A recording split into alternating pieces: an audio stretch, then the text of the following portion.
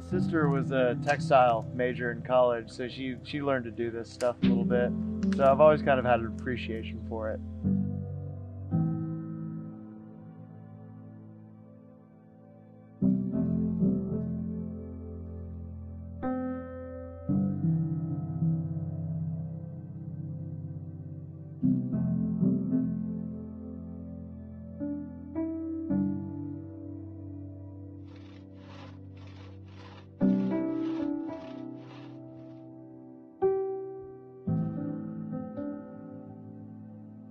It gives us uh, immense pride to sort of say that Exotic Echo, under the stewardship of our co founder, Ms. Soni Kath, has led this movement for the last 11 years, 10 plus years actually. We've been able to uh, do something in Nagaland and the entire Northeast uh, for the loin loom weavers. We are extremely happy that we are being able to continue this tradition.